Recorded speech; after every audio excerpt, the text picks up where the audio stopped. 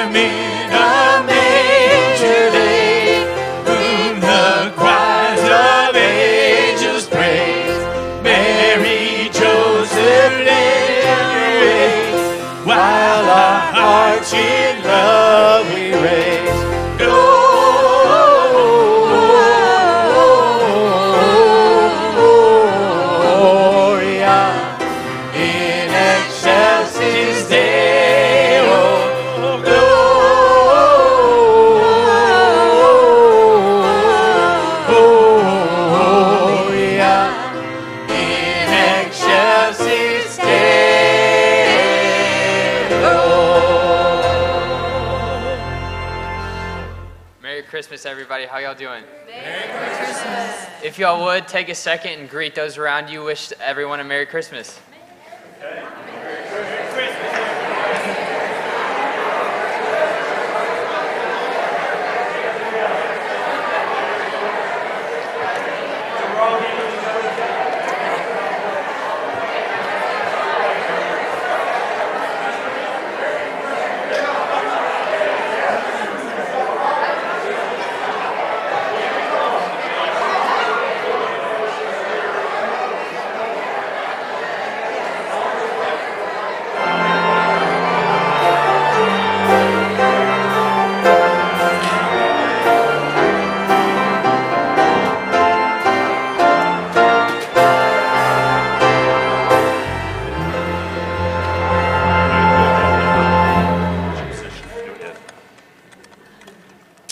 Awesome. So, if y'all will, we have these black registration pads on the inside of the pews. And y'all can be seated, yes. uh, but if you will, go ahead and open those up, sign your name, uh, and then pass them down the aisles. Thank y'all so much for that. And uh, the church will be closed this Monday and this Tuesday for the holiday. So if you try to contact the church office, they will not answer. Um, uh, okay, so now we're going to sing O oh Come, All Ye Faithful, which is on page 174. Do you want to sing?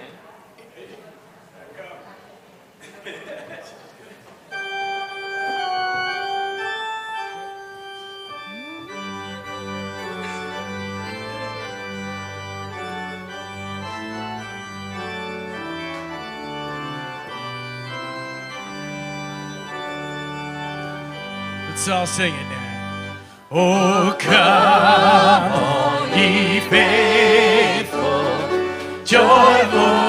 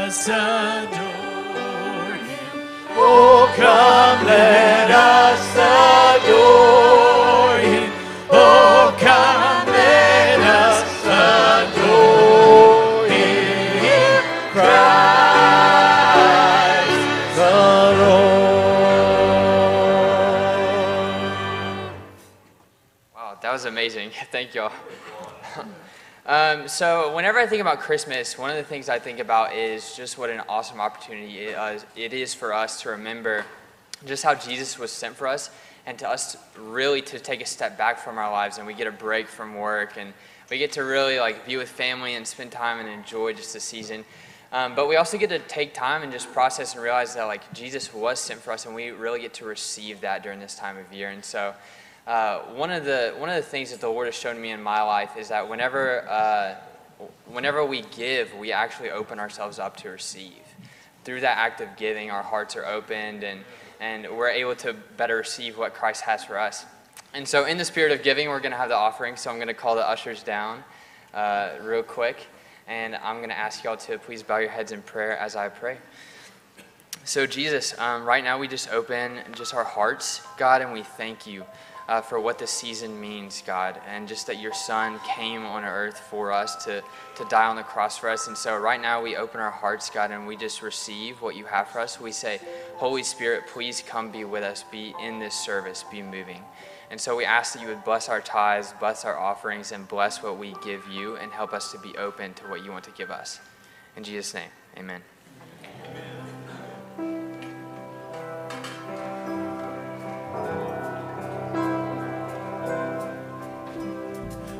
Holy night, the stars are brightly shining.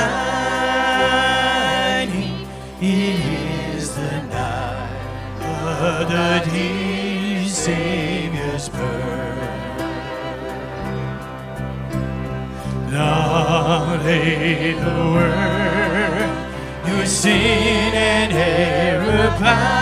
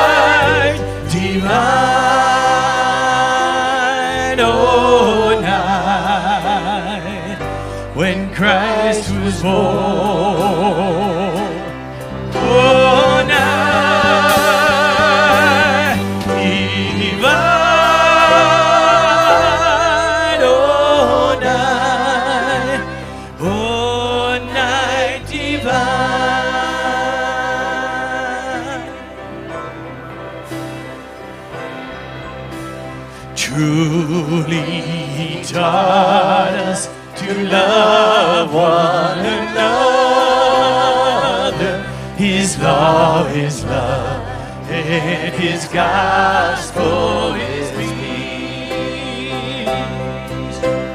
Change shall he bring For the slave is our brother, and in his name all oppression shall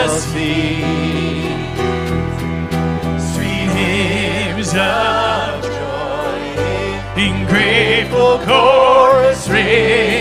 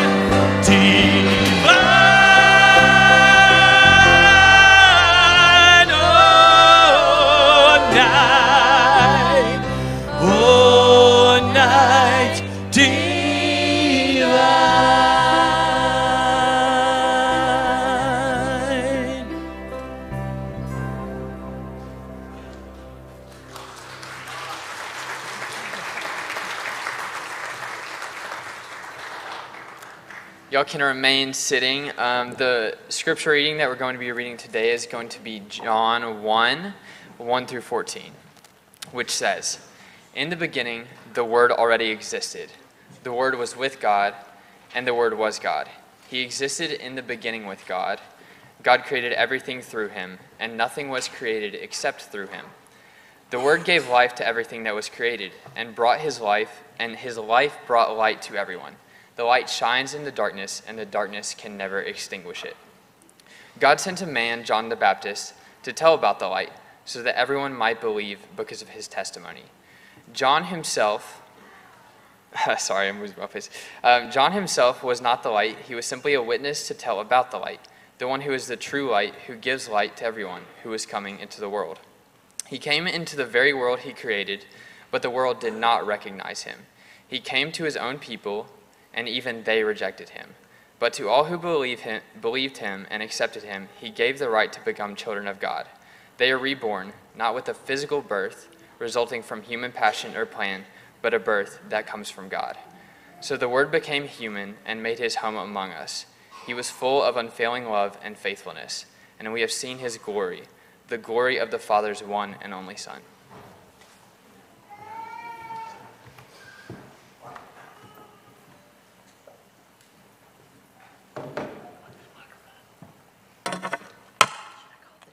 Yes, Okay, at this time, I'd like to invite the children to come forward, if you will, come up to the stage. We've got a special message just for you. So if if you're a kid, if you're a toddler, if you're a baby, you can bring your mom with you if you'd like, but come on up front.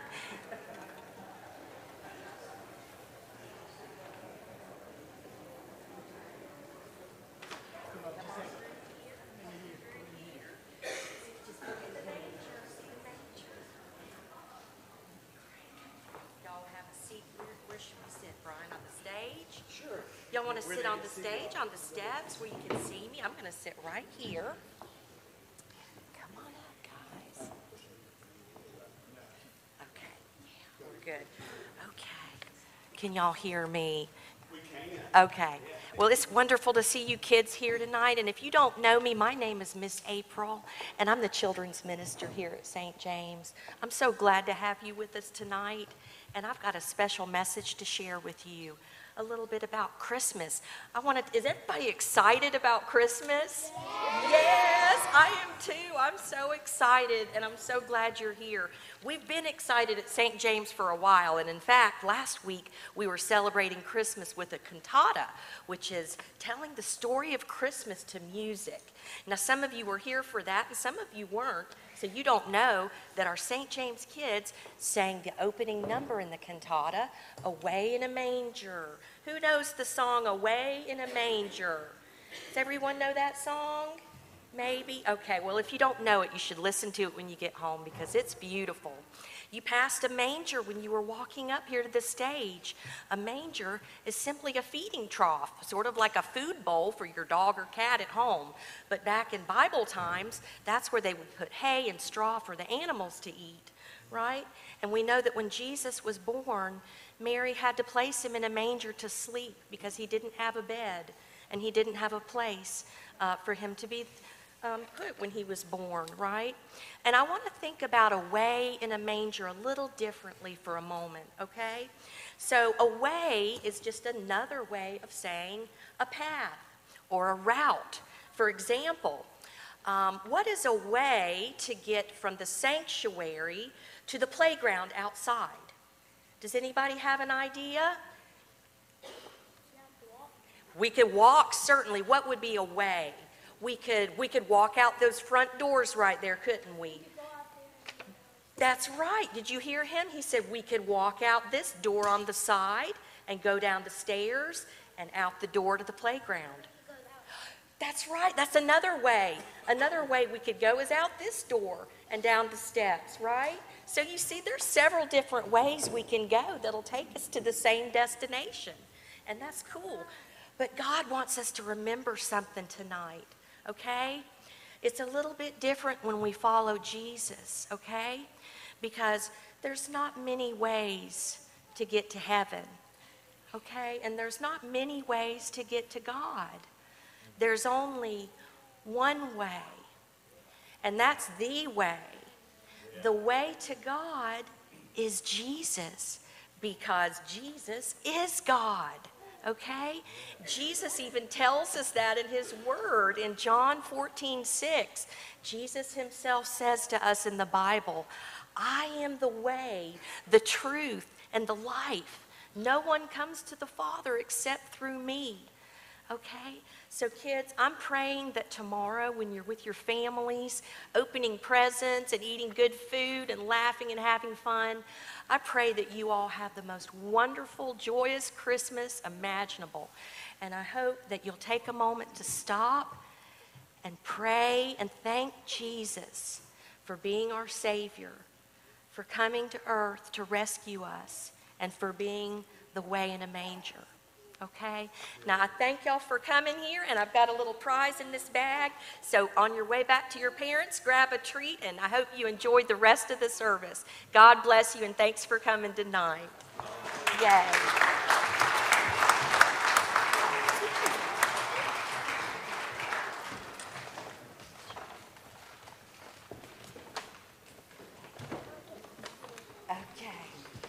Yes, and if you have a sibling that didn't get to come up, please take a bag for them as well, okay?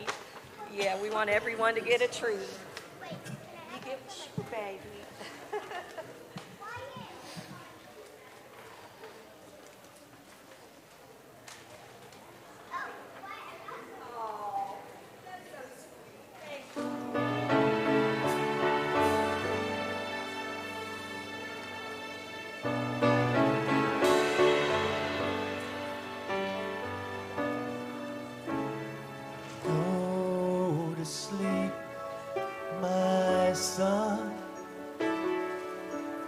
This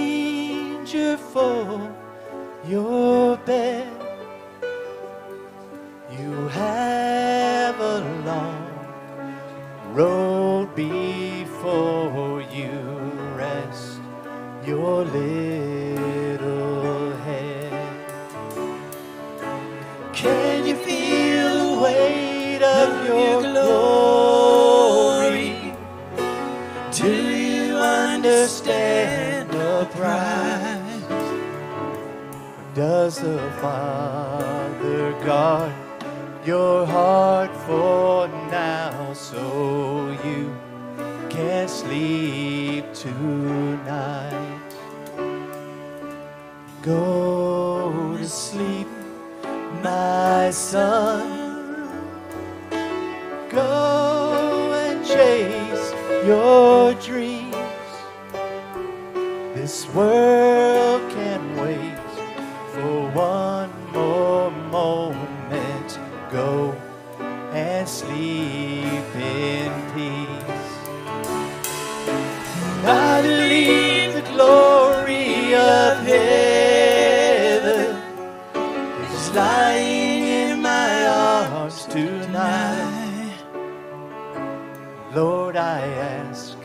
that He, for just this moment, simply be my child.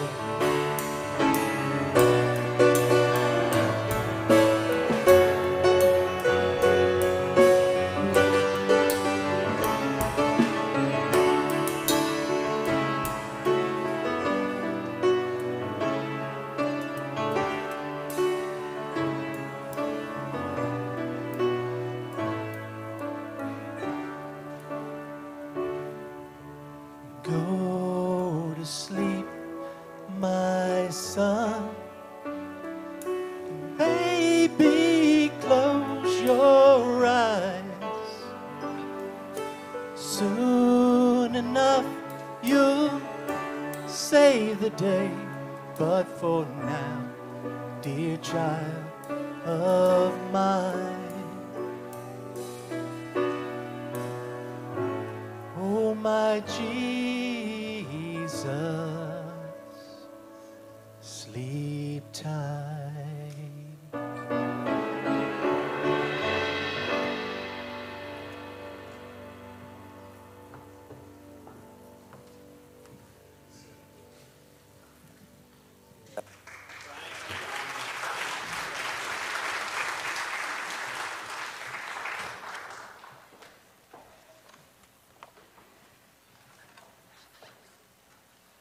Hear the scripture from Isaiah 9, verses 2 through 7 from the NIV. The people walking in darkness have seen a great light.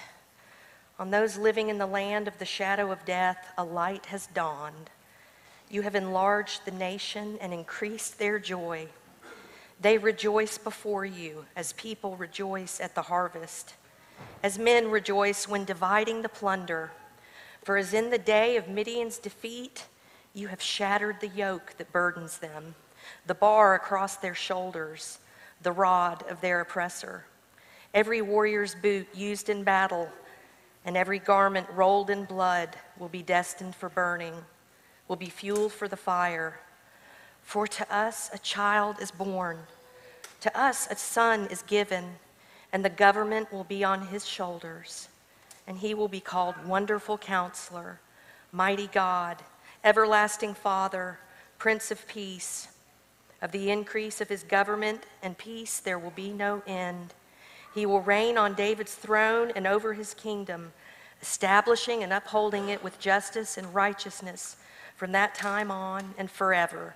The zeal of the Lord Almighty will accomplish this. Will you join me in prayer? Happy birthday, Jesus. We adore you. We worship you. We thank you for the gift of Christmas, that each year we have an opportunity, Lord, to remember, to reflect, to receive again the most unimaginably beautiful gift we could ever receive. Thank you, Jesus. Thank you for coming. Thank you for stepping out of heaven, for leaving your Father on our behalf to rescue us and save us. Lord, I thank you for every man and woman and child that's here tonight. I thank you, Lord, that you have drawn them here. And I pray that each one will encounter your love, your forgiveness, and your mercy and your presence, your goodness and your holiness, that they will come to know you anew or perhaps for the first time, so that you would be born again this night, Lord, in our hearts and in our lives. We thank you for the gift of Christmas. Lord, I lift up Pastor Bill to you now. I thank you for the message that you've laid upon his heart, that he is prepared. Holy Spirit, empower his words to reach the places they need to go. And I pray that we will be prepared as well to receive. Lord, bless this congregation and this night, and all that we do is for your glory and your honor. In Jesus' name, amen. Amen. Amen. Thank you very much, April. We appreciate that. Okay. As I uh, move into this little devotion that I really felt led by the Lord to, uh, to share with you tonight, I just got to tell you what a joy it is to have our friends from the light here this evening.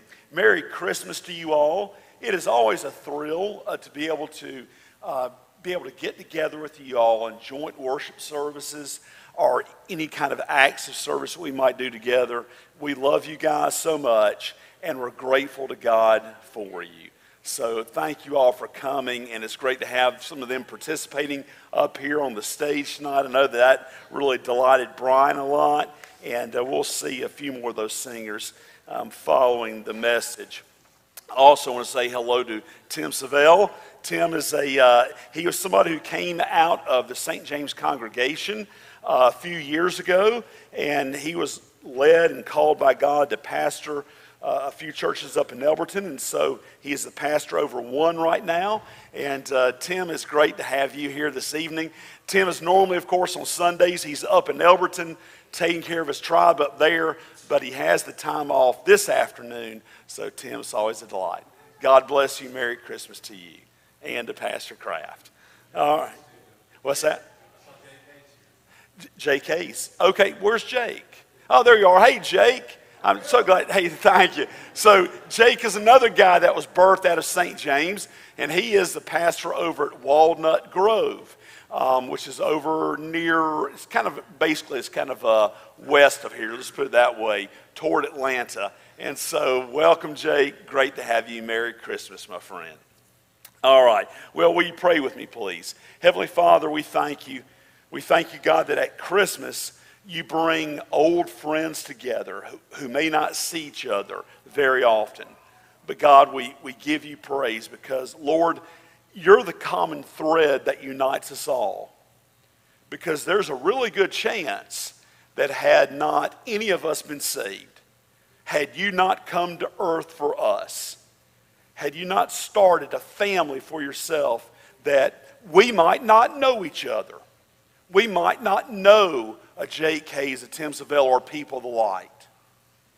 Thank you, though, God, that we do, because these are our brothers and sisters who live forever with you, in you, and with us as well. So thank you, God, for the common thread that binds us together that will not ever be broken. We worship you, Jesus. Be honored in all that we say, do, or think, and open our open our hearts to your very words of Scripture. In Christ it is done. Amen. So, if I were to ask you how many babies were born in Georgia last year, would you know the answer? Okay, well, I'm, I'm glad you're at least honest about it, you know, rather than trying to fake it to make it like, oh, yeah, I, I know that. And then I put you on the spot and ask you, and you're like, oh, no, actually, I was just joking. Okay, so 42,000.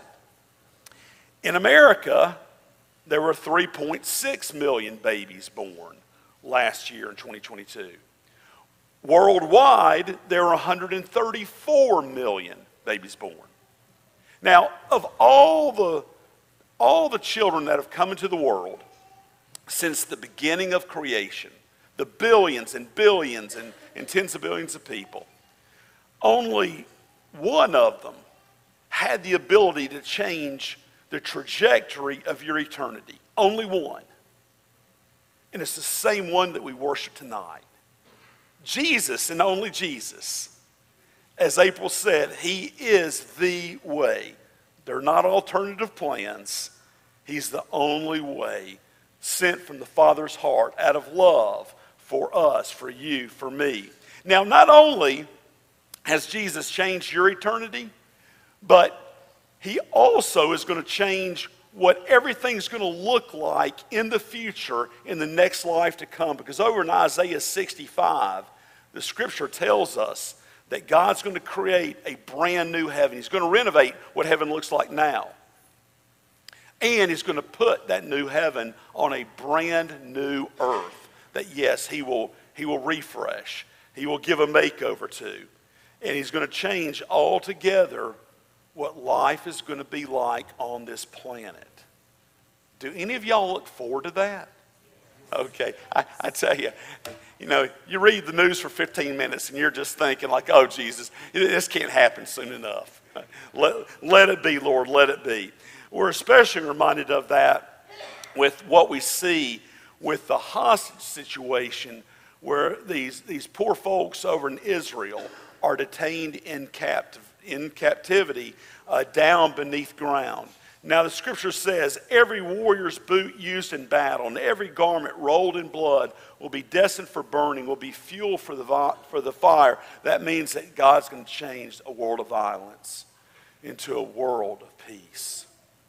Now, you know that even if you're a casual glancer at the news, that on October the 7th, this terrorist organization, Hamas, they, they really swarmed into parts of Israel, and they took about 240 hostages. Since October the 7th, they've been holding them. Quite a few have been released, but still over 100 remain in captivity. Now, when the hostages have been coming out, and for those that have been released, uh, let's just say, I'm not going to get really descriptive. We have children in the crowd tonight, but let's just say that they weren't exactly given the Ritz Carlton treatment they, they didn't have the, the, the greatest hospitality extended to them while they were, um, while they were there captured. So, the sad part about all this to me, one of the saddest parts, is that back in 2006, the people of Palestine, who Jesus loves, they elected Hamas to become their government. Now, I'm sure they were given all kinds of promises. But they see now that those promises that were extended to them were very, very empty. They have not made, Hamas has not made the Palestinians' life easier, but rather harder, right? Um, but to give the Palestinians the peace that, that they crave and that we pray they get one day, and for the peace that Israel longs for, they really don't need a two state solution, they need heaven's solution. You know, and, and so they need a better government. And the better government that, that they need, that we need in this world, doesn't come from a ballot box. It comes from a Savior, as April said, that was placed in a food bowl, in a manger. For to us a child is born, to us a son is given, and the government, the government of the world is going to be on his shoulders. Friends, no stronger pair of shoulders has ever been born on this earth than his. Of the greatness of his government. You know, here in America, we know that presidents can be elected at a max of, for a two year term. That means eight years, and then they're done, right? They, they can't get any more. And then they lose their, their title as the acting president. I'm glad that Jesus is never going to lose his title. All right? Lord, Messiah, Savior. He, he's never going to forfeit it, he's never going to vacate it. And you know, when Jesus grabs control of the world's government in the next life to come, we see him doing that now by changing hearts, person by person. But in the next life, it's going to be obvious who's sitting on the throne. And, and when he assumes control of the world's government, guess what? There'll be no more great recessions or depressions. There'll be no more skyrocketing inflation. You know, there will, there will never be an economic crash. Hey, and by the way, unlike politicians that we see today, he won't lie. Now, isn't that kind of a refreshing thought? Think about it. Yeah, I mean, that's, that's the kind of leader that we need, right? The greatness of his peace, there will be no end. Think about it. No more road rage. What a day that will be. Terrorists capturing innocent civilians. That life will be forever gone. And everybody in the new heaven on the new earth, this is a remarkable thought, will get along together with peaceful joy. Yeah, now, now that will be something. And the catalyst for all of that was God coming to earth and being born as a baby. But, friends, somebody on the altar committee was asking me whenever this, um, this manger was built up front here in front of the altar, they said, Well, Bill, do you want a, do you want a baby in there representing Jesus? And I thought, I was like, No, the manger is empty. See, he left the manger so he could go and rule on his throne. Because that's where he belongs. And he's never getting off. In the name of the Father, Son, and Holy Spirit, God's kids said, Amen. All right. Okay, friends. The scripture said from Isaiah chapter 9, verse 2 The people walking in darkness have seen a great light. You know, one of the things I've noticed about God, I've learned about Him through the years, is that God is not a do nothing God. When He sees, when He sees problems persist on earth, it's not okay with Him just to leave it like it is. He's always going to bring heaven's, heaven's solutions to earth's problems when we back them up with prayer. So, where there is violence, Jesus brings peace. Where there is hatred, God brings love. Where there is darkness all around, God brings the light of His presence. So, I want to ask for our, um, our candle lighters to please come forward. I've got a team coming forward, and what we're going to do is um, in fact, I would ask Stan if you could, or maybe Al at the bottom, I think you control the lights up in the balcony.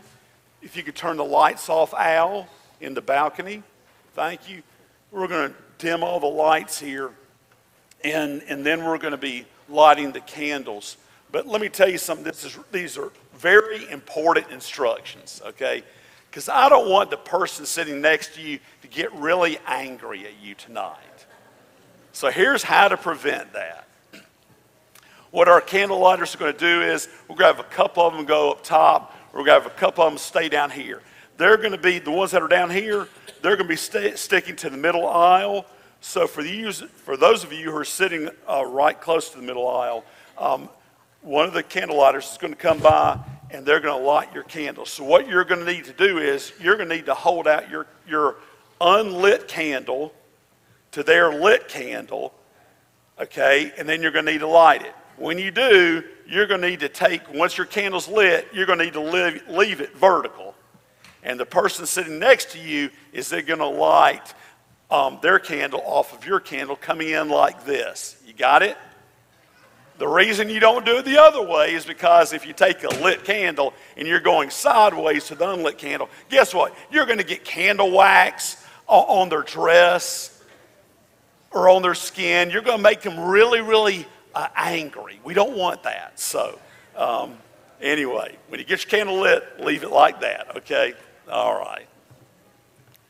Okay, y'all.